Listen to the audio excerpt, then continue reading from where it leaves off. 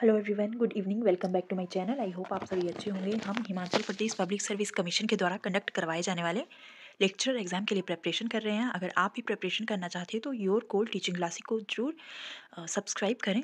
साथ ही bell icon को ज़रूर प्रेस करें, जिससे मेरी न्यू वीडियो की अपडेट आप तक जल्द से जल्द पहुँचे। हम पेपर वन के लिए प्रिपेयर कर रहे हैं, जो सभी के लिए कॉमन होगा, चाहे आप आर्ट्स स्ट्रीम से हो, मेडिकल से हो या नॉन मेडिकल से हो। साथ ही अगर आप हिमाचल प्रदेश में होने वाले किसी भी एग्ज़ाम की प्रिपरेशन कर रहे हो तो जनरल इंग्लिश के क्वेश्चन सभी एग्ज़ाम में पूछे जाते हैं तो ये क्लासेस सभी कॉम्पिटिटिव एग्ज़ाम के लिए हेल्पफुल रहेंगी। तो चलिए आज की क्लास स्टार्ट करते हैं।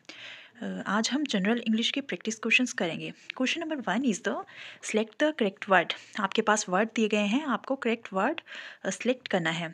ये एक्सीलेशन जो वर्ड है, उसकी स्पेलिंग दी गई है। आपको करेक्ट जो स्पेलिंग है, उसको टिक करना है एंड इसका जो आंसर होगा, वो होगा option number D option number D is the correct answer then question number two is the इसमें भी आपको एग्रेसिव की स्पेलिंग दी हुई है। आपको करेक्ट स्पेलिंग टिक करनी है।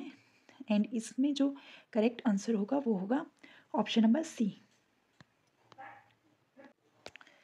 then next question is the many countries have sent medicine for dash of the latest fighting आपको करेक्ट वर्ड चूज़ करना है।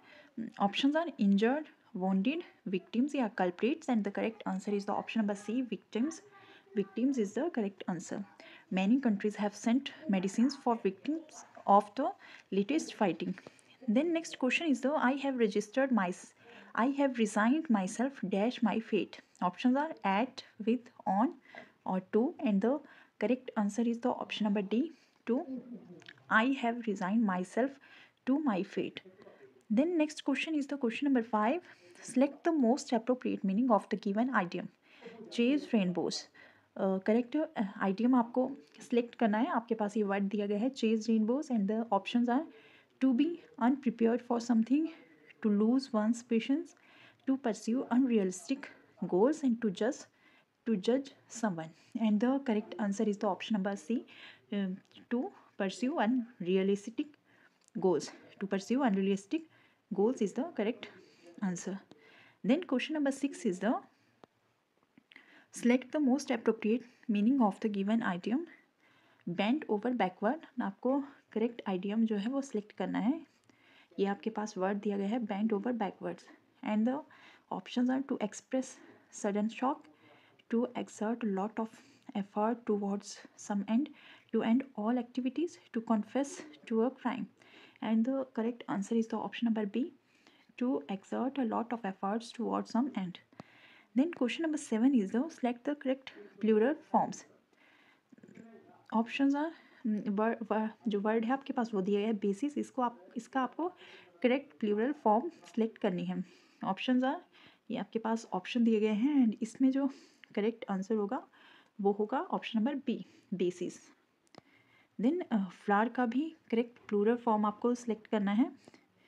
एंड इसका जो आंसर होगा, वो होगा option number B flowers flower का प्लूरल फॉर्म होगा flowers then next question is the choose correct article our city will have dash university soon option are A an the and no article and the correct answer is the option number A our city will have a university soon then next question is the choose correct article. India will become dash superpower shortly. Options are a and the and some. And the correct answer is the option number A India will become a super power shortly then next question is the choose correct adjective आपको slow word का correct adjective select करना है. Options आपके पास दिए गए हैं. Slow slowly slowingly and none of these and the correct answer is the option number C slowingly is the correct answer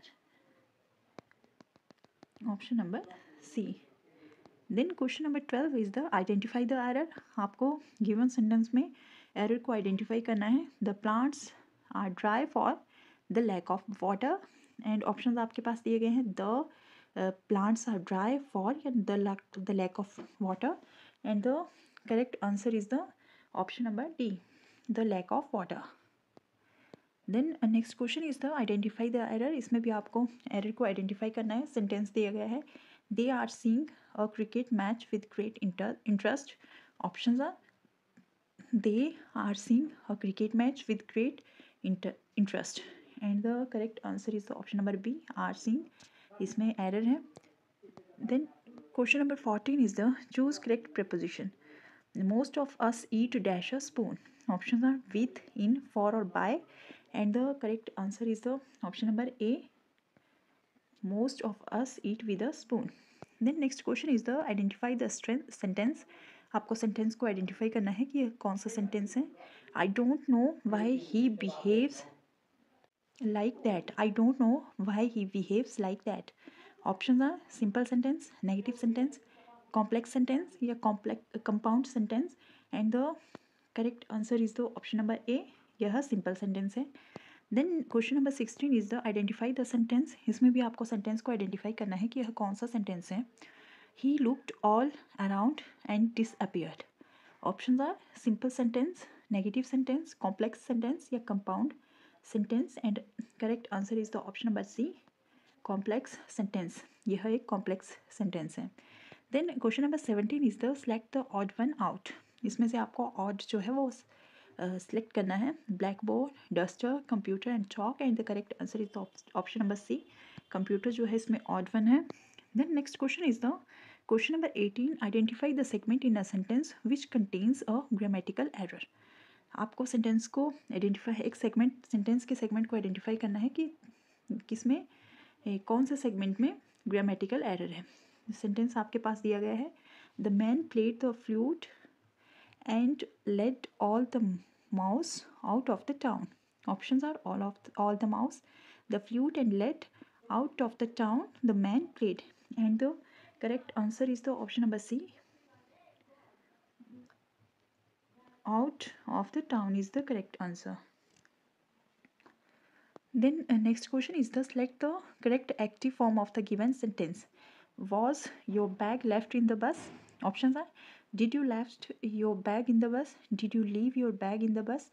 Have you left your bag in the bus? Yeah, was you leaving your bag in the bus? And the correct answer is the option number B. Did you leave your bag in the bus?